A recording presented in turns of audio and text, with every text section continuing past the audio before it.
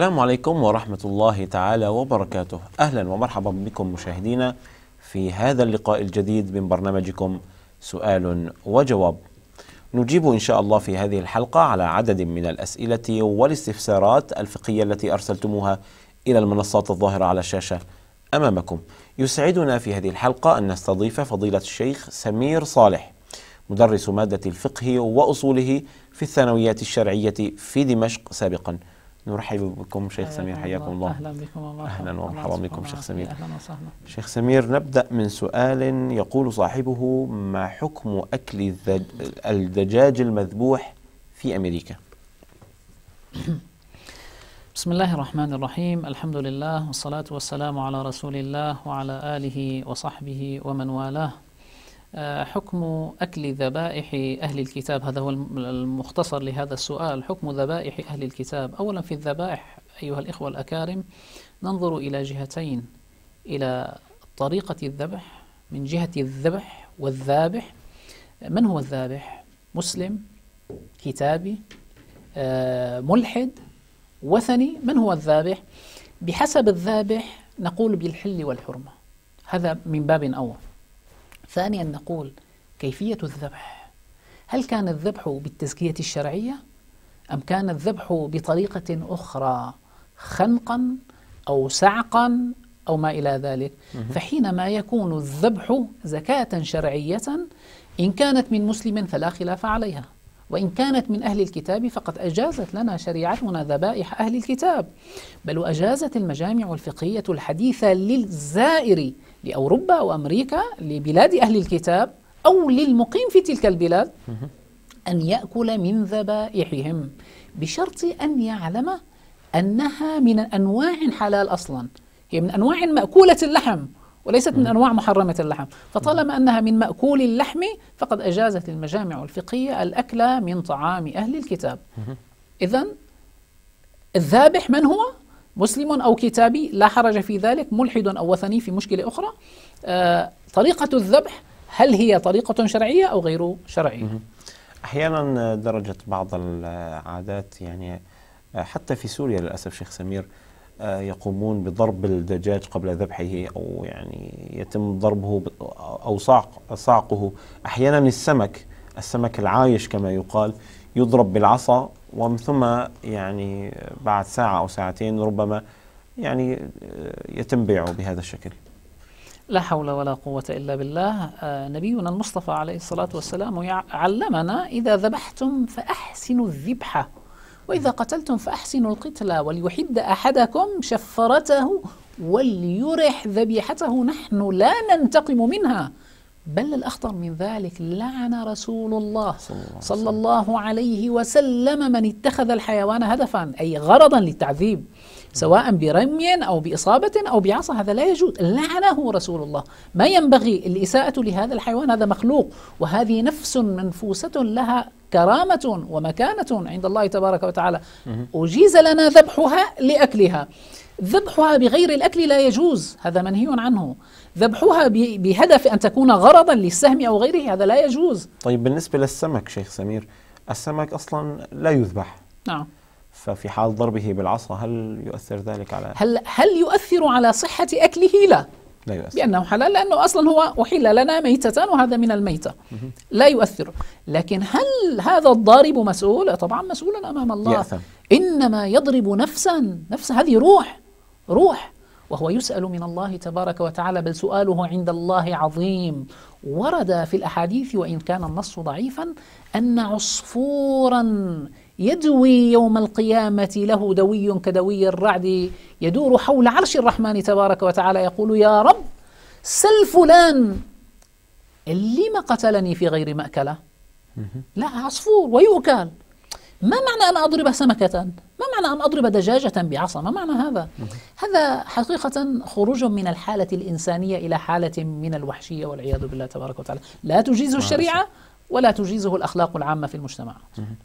سؤال آخر يقول يقول صاحبه حلفت على زوجتي بالطلاق فيما لو عادت ودخلت بيتا معينا. بعد مدة أجبرها أخوها على الذهاب معه إلى هذا المنزل علما بأنها لم تذكر له يمين زوجها خشية منه فيقع الطلاق. خلينا نتفق على حادثة على أصل أصيل في هذا أنه مسائل الطلاق ينبغي أن يكون السائل الشخص صاحب المشكلة مع المسؤول مع العالم لأنه هناك كثير من الأسئلة يجب أن يسأل هذا الإنسان. لما حلف كيف حلف؟ ما هي الألفاظ التي حلف بها؟ لابد أن يسأل. فالإجابة على الهواء كحكم عام للطلاق هذه فيها إشكال حقيقة. نعم. فنحن نقول لهذا الأخ الكريم حلفت على زوجتك؟ اشرح سؤالك هذا لعالم في المكان الذي أنت فيه. اسأله واشرح له. سيسألك سؤال أول وسؤال ثاني وسؤال ثالث وسؤال خامس. سيسألك تجيب على هذا تأخذ الحكم. هذه الزوجة مضطرة مكرهة مجبرة ونحن نقول أن نبينا المصطفى صلى الله عليه وسلم علمنا رفع عن أمتي الخطأ والنسيان وما استكرهوا عليه.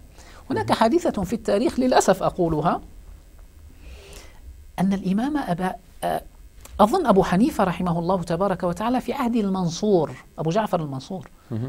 كان يحلف الناس على كتاب الله أن زوجته طالق إن حنث بعهده ببيعة الخليفة. فأبو حنيفة قال هذا يمين لا يقع. حلف يمين طلاق. يجي الإنسان ويحلف على كتاب الله أنه زوجته تطلق منه إن حنث بعهده مع الخليفة بالبيعة فقال أبو حنيفة هذا يمين لا يقع لأنه يمين مكره. هذه المرأة امرأة مكرهة. ولكن أحب أن أدقق في مسائل الطلاق لأنها خطيرة يا أخواننا.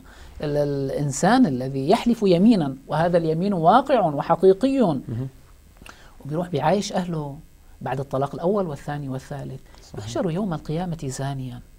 في صار في أحكام شرعية مترتبة كثيرة على أولاده وعلى علاقته مع زوجته على حياته المستمرة مع بعض على الذرية التي ستنجب. بيسأل بيوم من الأيام يا أخي بيتي فوضى أولادي عققة من أهل العقوق لماذا؟ في عندك أجزاء كثيرة من هذه الم- المسألة لها أصل أصيل أنت وقعت فيه. لذلك أخي اسأل عالما في حيك فصل له يفصل لك وتأخذ جوابا مريحا. أنا بعرف أخوة والله فقد عقله. يحب زوجته. بس لسانه فلتان. أول مرة طلق وثاني مرة طلق ويروح لعند الشيوخ. يروح لعند الشيوخ. جاءني في, في, في دمشق قديما. أذكر أنه ما ترك عالما. ذهب إلى حمص ليسأل بعض العلماء. أفتاه الجميع بطلاق زوجته. والله رأيته بعد ما كان رجل له قيمة والله رأيته قد التحى واتسخ ثوبه ويمشي في الطرقات كالمجنون تماما. طب من أوصلك إلى هذا إلا لسانك؟ اتق الله في هذا. صحيح. سؤال آخر يقول صاحبه فلاح أخرج زكاة زروعه من التمر الذي باعه أو باع بعضه وخزن بعضه إلى شهر رمضان. في شهر رمضان ارتفعت قيمته فهل زكاته صحيحة أم يتوجب عليه إخراجها بناء على السعر الجديد؟ خلينا نتفق على قاعدة أولية أن زكاة الزروع إنما تخرج من الزروع. ما في شيء اسمه قيمة. وآتوا حقه يوم حصاده. صحيح. في زمن مدة محددة كثيرون من الناس للأسف يقول لك أنا أخي بدي زكي عن زروعي في رمضان. يا أخي هذا ليس فضلا منك ولا كرم أخلاق منك وليس لك ثواب عظيم على هذا أبدا. الزرع في يوم حصاده تزكيه إلا إن كنت بدك تأخره لحساب القيمة وهذا حقك. ثانيا عندك قريب من أقاربك حبيب من أحبابك فقير هو الآن مسافر تنتظر عودته. أنت تعرف أنه عودته قريبة؟ مشان ما تفسد أيضا الزروع. تقدم له هذه الزروع لما يجي. هم بتأخر. أما أنا أخر لرمضان من أجل أنه أنا بدي أكسب ثواب أو كذا هذا لا يصح. بدي أخرج قيمة الزرع مصاري هذا لا يصح. أنت هذا الزرع تخرج من أصل الزرع قيمته. قيمته بتفرق بقى بين البعل وبين المروي والله بذلك أعلم. سؤال آخر تقول صاحبته أيضا آه، المسألة متعلقة ربما بالأزواج والمشاكل الزوجية. شيخ سمير نسأل الله سبحانه وتعالى أن يؤلف بين قلوب الأزواج وأن آمين، يصلح آمين. ذات البين. آمين آمين. تقول زوجي يضربني ويشتمني كثيرا حتى أنه يؤلب أطفاله علي. هجرني منذ أربعة أعوام ولا ينفق علي رغم مرضي وأنا ليس لي ولي غيره. ماذا أفعل؟ يعني هجرني منذ أربعة أعوام كيف يصل إليك؟ هذا واحد. كيف يصل إليك وكيف يضربك؟ لو قلنا أنها ما زالت زوجة وكل فترة بيمر عليها. هذا ممكن أن يحدث من الأزواج. أنا بسأل لماذا هذا الأمر يحدث؟ إخواننا هذا له نقطتين أساسيتين. أولا في خطأ باختيار الزوج. بالأصل لما اخترنا الزوج النبي عليه الصلاة والسلام علمنا أن اختيار الزوج له ضوابط. ومن ضوابط اختيار الزوج الدين والأمانة. إن جاءكم من ترضون دينه وخلقه فزوجوه. صحيح. طيب ومصرياته يا رسول الله؟ قال ما في مصرياته. طيب وثيابه الجميلة وسيارته ومعمله؟ ما في هذا الكلام. هذا يورث فعلا مشاكل. فلا بد من الخلق في البداية والدين في البداية. فإن حصلنا على هذا يقينا النتائج ستكون سليمة. لكن في المقابل تنكح المرأة لمالها. طبعا. أنا أتكلم الآن أهل الزوجة نعم. كيف ينظرون إلى نعم. هذا الزوج. تنكح المرأة لمالها ولجمالها ولحسبها ولدينها قال فاظفر بذات الدين ليش لأنه بجوز هذيك تعذبك صحيح. المال ما بيدوم صحيح. والله الجمال ما بيدوم صحيح. بس بتدوم الأخلاق يا إخواننا لما ربنا بين لنا حكم الزواج وبين أنه مودة ورحمة قال أول فترة بتحبوا بعض بس رح تيجي فترة تحنوا على بعض أنت بيوم من الأيام تمرض هذه الزوجة ستخدمك. صحيح. فماذا لو كانت أخلاقها فاسدة؟ الأمر بالمقابل. ماذا لو كانت أخلاقه فاسدة؟ لذلك أنا أقول الآن هذه الزوجة ماذا تفعل؟ يضربني زوجي. لعل هذا الأمر له علاقة بفقد الرقابة المجتمعية اليوم خاصة اللي سافروا وخرجوا من بلادهم. كانت تحامى بأهلها. حتى بأهله بأقاربها بأقاربه. اليوم فقدنا إلى حد ما الرقابة الجماعية شيخ سمير اسمح لنا الفاصل ثم نتابع حديثنا طيب. بنفس السياق. لا حارج أعزائي المشاهدين فاصل قصير. ابقوا معنا.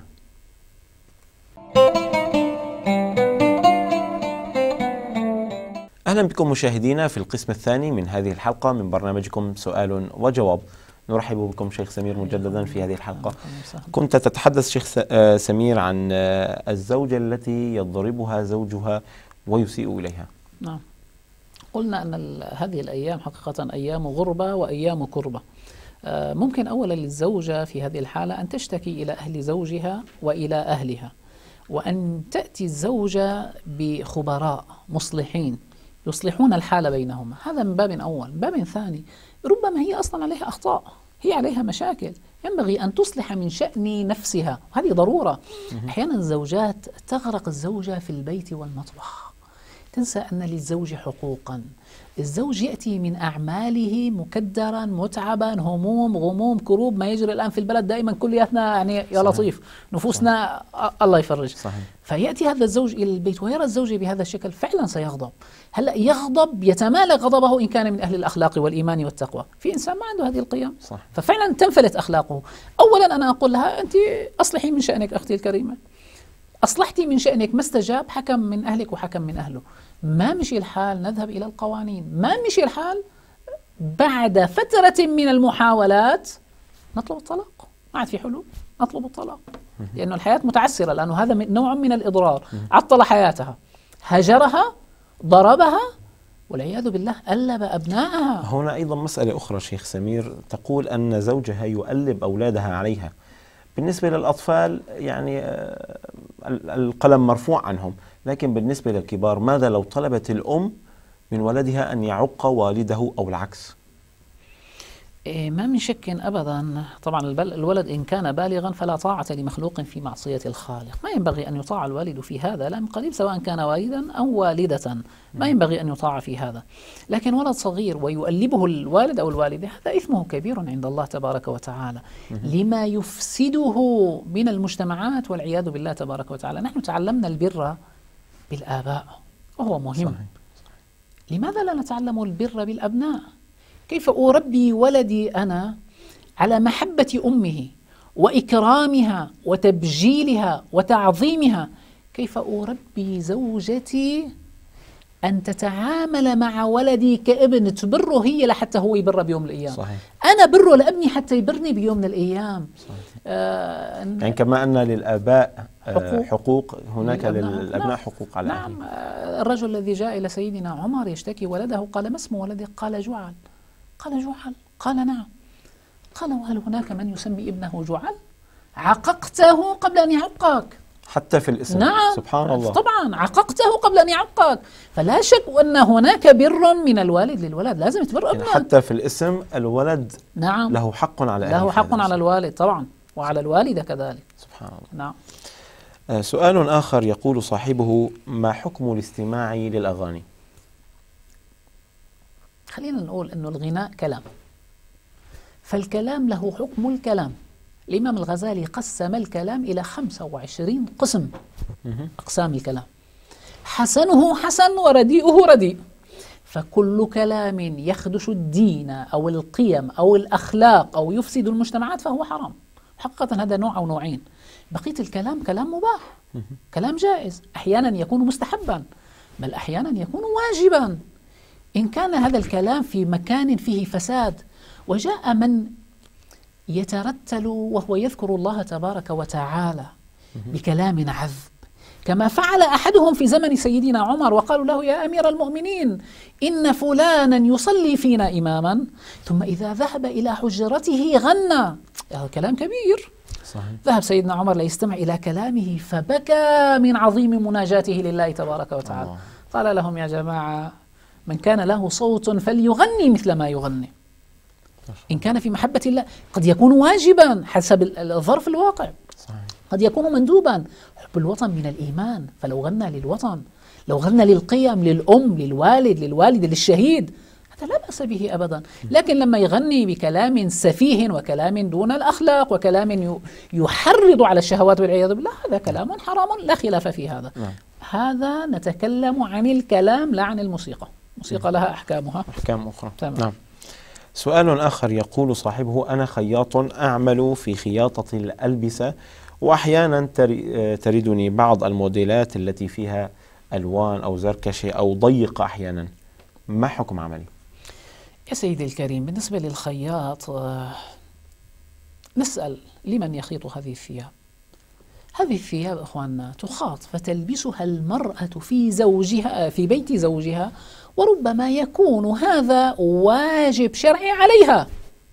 واجب شرعي عليها. وقد تجي إنسانة وتلبسه في الشارع. الإثم على من الآن الإثم على هذه التي لبست في الشارع. على من لبست نعم. في الشارع. والثواب والبر على هذه التي حسنت نفسها لزوجها. تخيلوا أخواننا أنه سيدنا ابن عباس رضي الله عنه وأرضاه كان يقول إني لأتزين للقاء أهلي. كما أحب أن تتزين أهلي للقائي. جميل. نحن لازم نلبس. آه، مشكلة كبيرة هي عند الرجال لا تزعلوا منا يا جماعة. الرجل يحب أن تكون زوجه في البيت بأبهى حلة بس هو صحيح. لما يجي على البيت دائما راكز إلا في البيت. هذا ما يناسب. فخياط الآن يخيط الثياب. طالما أن هذه الثياب آه، تلبس في مكان مناسب فهي مناسبة. تلبس في مكان غير مناسب مسؤول عنها من لبس هذه الثياب. وليس الخياط. لا حرج عليه إن شاء الله. سؤال يقول صاحبه ما حكم شراء البيوت على البنك كما يقال؟ هلا البنوك خلينا نتفق أنها ربوية وغير ربوية. نعم. الأصل في شراء البيت أصلا أن أشتري البيت من مالكه. البنوك الإسلامية حسب علمي حسب علمي البنوك الإسلامية تقول لك اختر البيت فتختار البيت. فيشتريه البنك فيصير مالكا للبيت. فتشتري أنت البيت من البنك كمالك. بيحط عليك سعر وسعر أكبر وهذا وضع طبيعي. وتجوز زيادة السعر مقابل زيادة الأجل إذا كان بالتقسيط. أنت تشتري من مالك ولو زاد عليك السعر مقابل الأجل هذا لا حرج فيه. لا حرج في لكنني أشتري لا لا حرج. لكنني الآن أشتري من مالك. إذا اشتريت البيت من بنك ربوي هون في مشكلة شرعية في الربا أصلا. إن اشتريته من بنك لا يشتري إنما يكون وسيطا فأنا لا أشتري من مالك هنا تقع الحرمة في الربا وفي أنني أشتري من غير مالك نعم. سؤال آخر يقول صاحبته آه، صاحبه ما حكم عمل الزوجة زوجتي تريد أن تعمل وأنا لست محتاجا وهي ليست محتاجة أيضا هل يجوز لي أن أمنعها من العمل؟ معلش نقسم السؤال لشطرين. بس الشطر الأول ما حكم عمل الزوجة؟ الزوجة نعم. المرأة. ما حكم عمل المرأة؟ يا أخواننا المرأة من حقها أن تعمل بل أحيانا يجب عليها أن تعمل. كيف؟ إذا مرضت زوجتي من يطببها؟ عند الفقهاء أسأل أنا الآن. الفقهاء قالوا تطببها الطبيبة المسلمة فإن لم نجد. قال فالطبيبة الكتابية فإن لم نجد. فالطبيبة غير الكتابية أيضا. ولحتى نصل بعدين للطبيب المسلم. لاحظ إذا هناك ينبغي أن يكون للمرأة بطبابة المرأة علاقة. من يعلم بنتي؟ أنا لا أنسى في الثمانينيات لا أنسى أبدا لما جاءت هجمة البعث الشرسة بعد حملة حماة والقتل والتذبيح في المسلمين جاءونا بما يسمون مدربين فتوة. الفتوة الفتوة ككلمة أطلقها الشيخ مصطفى السباعي رحمه الله تبارك وتعالى. وكانت لإنشاء جيل مؤمن صالح يخدم دينه ومجتمعه. حرفوا المعنى وجاءونا بمدربين ومدربات فتوة. والله أنا لا أنسى أبدا شلون كانت تجر المرأة من ثيابها في المدرسة وتعريها. وتعريها. نرى للأسف جسد بناتنا أو شعر بناتنا إجباري ممنوع الحجاب في المدرسة. فكان في قسوة وكان في جلافة كبيرة جدا من المجتمع. إذا حكم عمل المرأة في الأعمال الضرورية التي تحتاجها المرأة قد يكون عملها واجبا أو مستحبا أو أو مباحا. تمام؟ هلأ هذه المرأة في بيتها زوجها مكتفي الحمد لله هي مكتفية رغم أنها متعلمة زوجها لا يريد لها أن تعمل. من حق المرأة أصلا أن تعمل إن كان العمل شرعيا ليس فيه اختلاط وليس فيه كذا. نعم. من حقها أن تعمل. اتفقنا على هذه اتفقنا على. نعم. زوجي لا زوجها لا يريد لها أن تعمل. الأصل في حياة المرأة هو البيت هو تربية الأبناء هو إنشاء الأسرة. لماذا نقول المرأة نصف المجتمع؟ نحن نقول المرأة كل المجتمع. لأن هي من تربي أبناء هذا المجتمع. ذكورا وإناثا فتؤهل الزوجة الصالحة لتكون زوجة يعني شيخ سمير البعض قد يعتبر كلامكم أنها يعني فقط للبيت وخلقت للبيت أو خلقت للمنزل لكن ربما المقصود صح. يعني التربية أنها يعني أنها مناطة بالتربية وأنها يعني ربما مناطة بمسؤوليات أكبر من مسؤوليات الرجل آه، ربما صحيح. حتى لا يفهم كلامكم لا ابدا خلينا نتفق إنه نحن جاوبنا بال... بال... نعم. بالبند الأول نعم. إنه لا من حق المرأة أن تعمل نعم.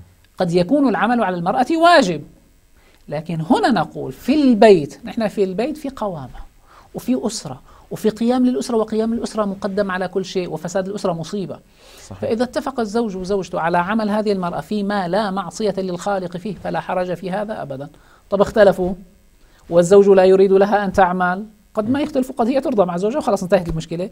اختلفوا. الأصل طاعة الزوج. يا إخواننا إذا نخلي كل الشعب رؤساء ما بيضل شعب بعدين. صحيح. لابد في كل مكان من أمير. أمير البيت الرجل. وحقه في القوامة حقه في قوامة أخلاقية وليس بإجبار ولا بإكراه بل بإقناع وبإلزام حجة وبكلمة طيبة وبكلمة جميلة. يقنع هذه الزوجة أنه نحن مقامنا تربية هذه الأسرة. طيب شيخ سمير لو كان العكس هي لا تريد أن تعمل وهو كان محتاجا يريد منها أن تعمل وهي لا ترغب لا يجب عليها أن تعمل. لا يجب لا يجب عليها أن تعمل. من واجبه أن ينفق عليها في كل أحوالها وإن كانت غنية. هي ليست مضطرة أن تنفق أبداً على زوجها. أبدا ليست مضطرة لهذا أبدا. تقعد ببيتها وعلى راحتها. شكر الله لكم شيخ سمير. سامحونا انتهى الوقت المخصص لهذه الحلقة. نشكركم على حضوركم معنا. وأنتم مشاهدينا الأعزاء نشكر لكم حسن متابعتكم. وإصغائكم. نلقاكم إن شاء الله في حلقة لاحقة. انتظرونا. السلام عليكم ورحمة الله تعالى وبركاته.